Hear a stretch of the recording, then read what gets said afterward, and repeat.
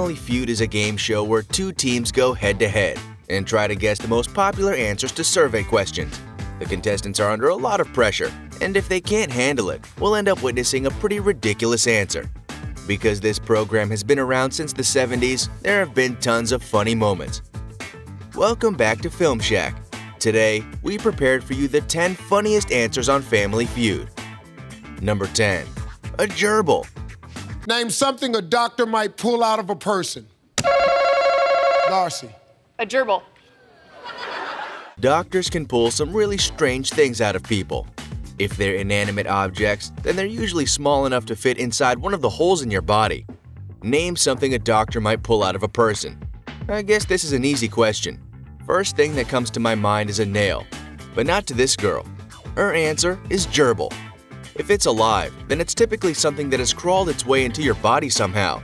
That's why this answer is so ridiculous. Can you imagine someone walking into their doctor's office and telling them that they have a small rodent inside of them? First of all, why did you allow for this creature to get that far up in you where you couldn't take it out? And why was it entering you in the first place? If I was the physician who had to witness this, my face would look exactly like Steve or the other contestant. I guess that someone is listening to Eminem way too much and gets his words too seriously. Number 9. Sister? When you were a kid, name something you used as a partner to practice kissing. Jeff. Sister. This one is wrong on so many levels. I've heard of people practicing how to kiss on their hands, pillows, mirrors, and even food. But I never would think that somebody would actually do this with their sibling.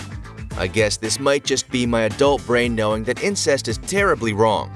But I still can't imagine somebody of kissing age wanting to practice with their brother or sister. If I was this guy, I would have played it off like it's something that other individuals do.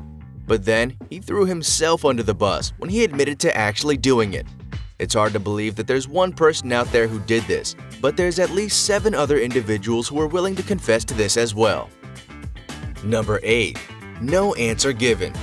Which of the seven dwarfs describes your wife in bed?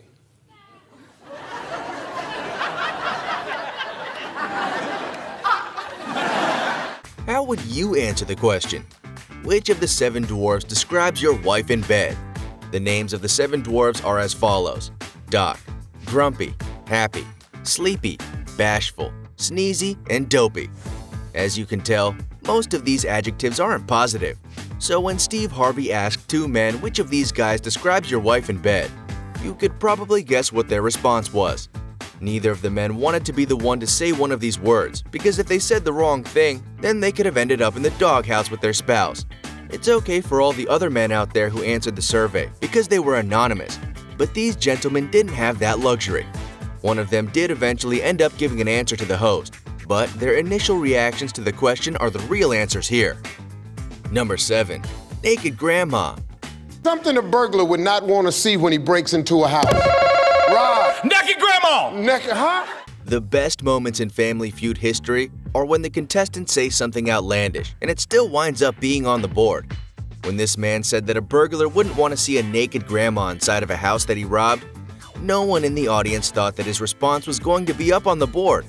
The guy who said it sounded confident with his reply, but I'm sure he didn't even think that it was going to be there. Yes, that's not something that anyone would want to see. But what are the odds that somebody that surveyed actually gave that as their answer? Luckily for him, a nude grandmother is an occupant, so technically he wasn't wrong in saying it. Number 6. Potato Potato. Potato. Potato. Name a word or phrase that starts with pot. The way Laura said potato, I don't know what's funnier here. Laura's answer or Steve's response. When your family already has two strikes and you're the next person to give an answer, there's a lot of stress put on you.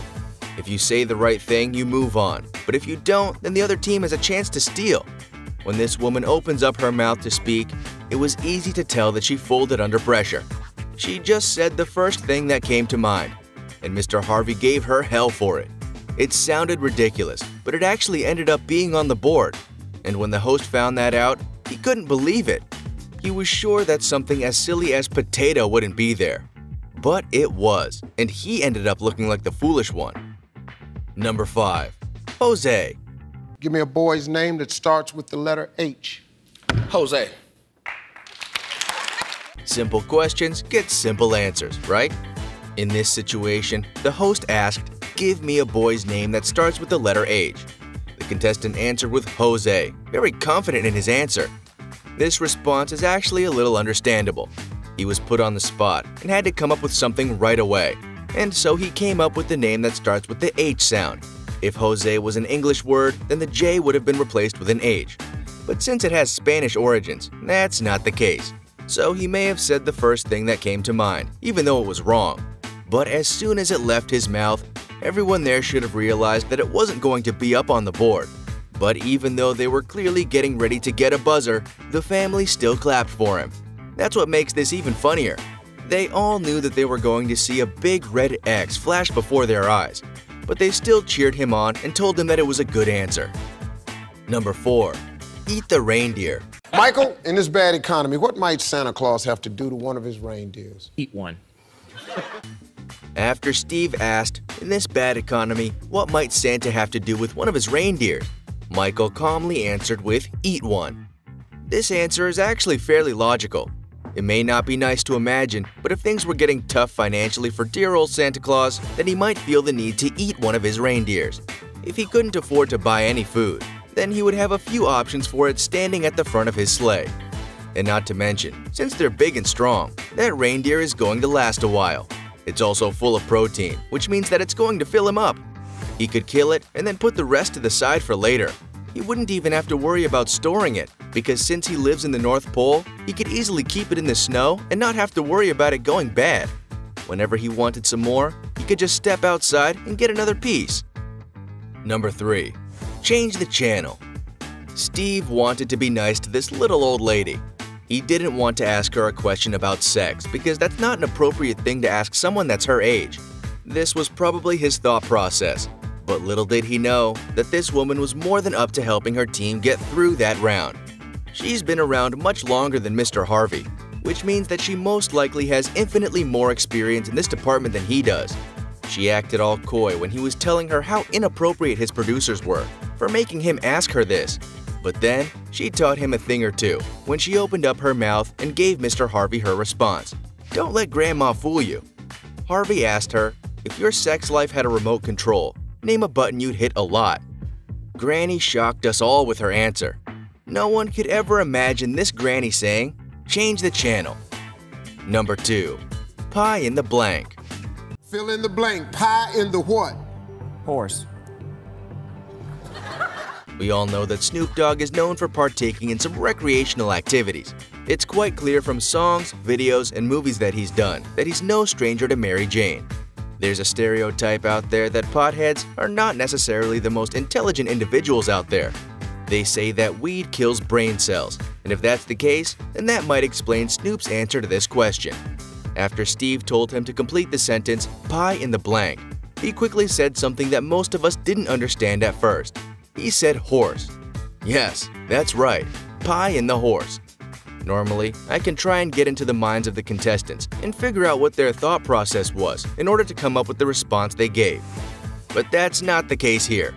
I have no idea what was going through his brain when he thought of this, and I'd be willing to bet that I'm not the only one who couldn't figure it out either. Number 1. Chicken. Name Popeye's favorite food. On Thursday night's episode, the game show entered the sudden death round, and the stakes were high. Whoever answered correctly won the show. Alright, really simple. There's one question, only one answer. Whoever gets it, you're playing for $10,000. Whoever guesses this wins the game, says Gary Dee, host of Family Feud Canada. Dee continues to read the prompt, name Popeye's favorite food. He barely finishes the question before Du Bois slaps the buzzer and sings, Chicken, and proceeds to do a hilarious happy dance. Family members are left stunned as the audience and host struggle to contain their laughter. Everyone else seemed to understand that Dee was referencing the cartoon character and not the Popeye's fried chicken chain. The competitor, Logan Tomlin, quickly retorts, Spinach, Jerry. His answer won his family $10,000 and the game. Du Bois had a simple excuse for her wrong answer. I thought you meant Popeye's chicken. Du Bois has happily recovered from her funny mishap and has even embraced it. She posted a video of herself dancing with fried chicken, proving that she's always been a chicken fanatic. This was taken two years ago. Hashtag the original chicken dance, she captioned the tweet. We would like to invite you to share your opinion with us. Do you agree with our list? Don't forget to subscribe to our channel and turn on the notifications bell. Thank you for watching, and we will see you in the next video. Bye!